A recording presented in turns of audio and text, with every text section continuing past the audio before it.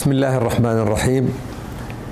إن تاريخ المملكة العربية السعودية حافل بالمواقف الإنسانية والخيرية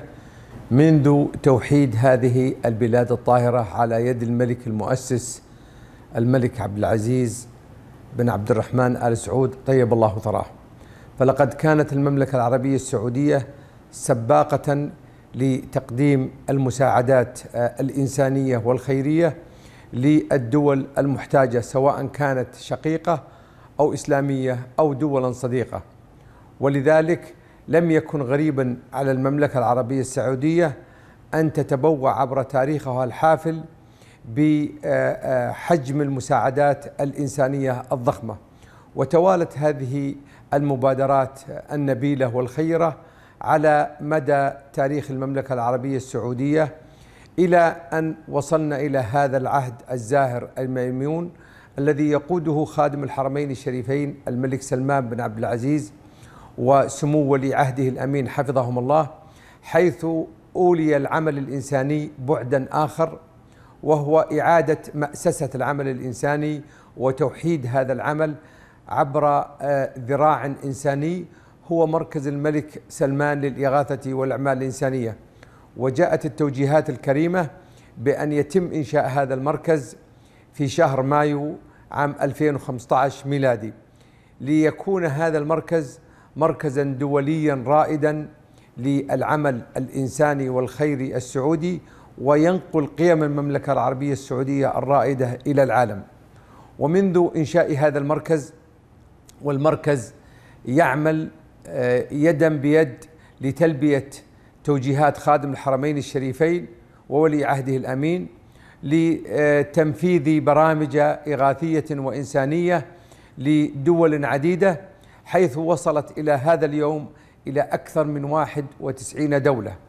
وكان المركز حريصا على أن يكون العمل الإنساني الذي يقوده هذا المركز مبنيا على معايير دولية وكذلك أن ينظم هذا العمل بما يضمن أولا الشفافية الحيادية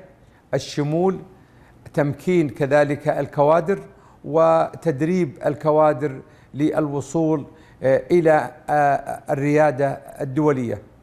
ونحن في هذا اليوم نسعد بأن هذا المركز استطاع أن ينفذ أكثر من 2350 مشروعا وكذلك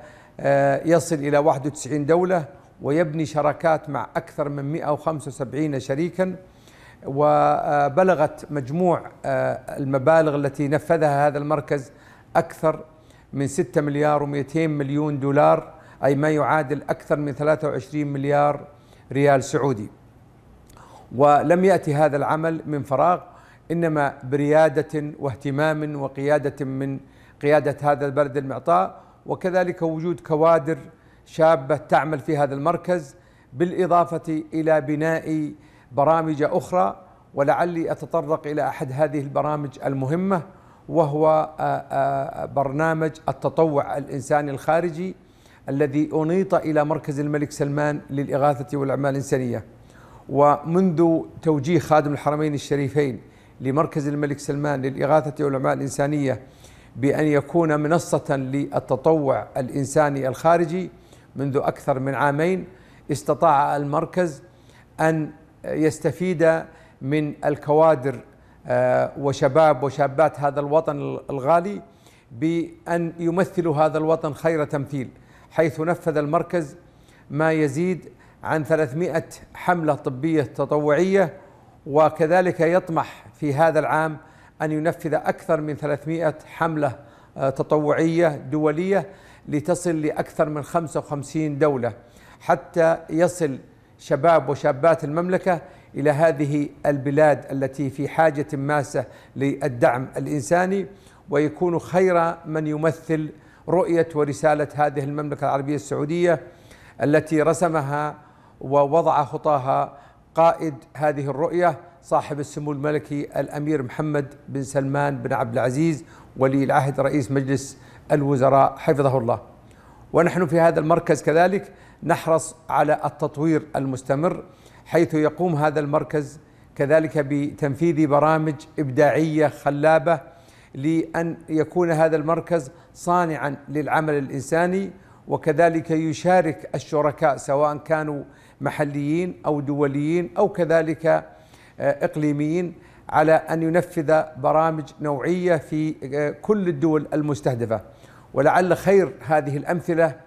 استجابة مركز الملك سلمان للإغاثة والأعمال الإنسانية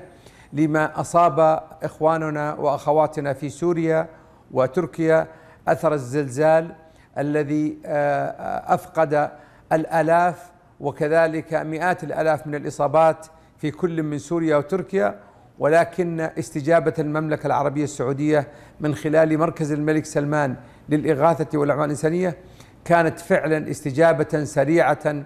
آه، تليق بمقام وسمعة المملكة العربية السعودية حيث شارك أولا رجال آه، الإنقاذ الذين ساهموا في آه، رفع الأنقاض وإنقاذ حياة الذين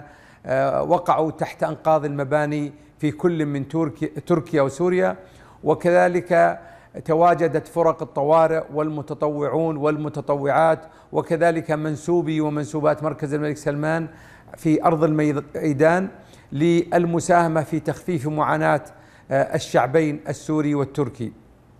ونحن إلى هذا اليوم آه، مستمرون في تنفيذ العديد من البرامج سواء كانت رمضانية أو كذلك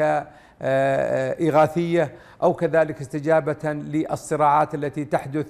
في آه، عدد من الدول أو كذلك الكوارث آه، الطبيعية المتعددة. كما أن هذا المركز يحرص على بناء القدرات للمتطوعين والمتطوعات والاهتمام بالبحوث العلمية الموجهة للعمل الإنساني. بهدف تطوير هذا العمل الإنساني بحيث تكون المملكة العربية السعودية أحد صناع آه، العمل الإنساني الدولي. ومما يثلج الصدر أن مركز الملك سلمان للإغاثة والأعمال الإنسانية في هذا العام يترأس مجموعة المانحين للأمم المتحدة وكذلك يشارك في كل آه، اللجان الرئيسية التي تقود العمل الإنساني. أسأل الله سبحانه وتعالى أن يوفق هذه البلاد وأن يوفق خادم الحرمين الشريفين ولي عهده الأمين وأن يستمر الرخاء والعطاء والأمن والأمان على هذه البلاد. كما أنني أهيب بأبنائي وبناتي آه، في آه، هذه الجامعة المرموقة أن يحرصوا على أولا آه، هذا الوطن وخدمة هذا الوطن وخدمة قيادة هذا الوطن